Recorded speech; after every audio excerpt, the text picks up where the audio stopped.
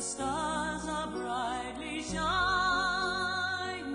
It is the night of our dear Savior's birth.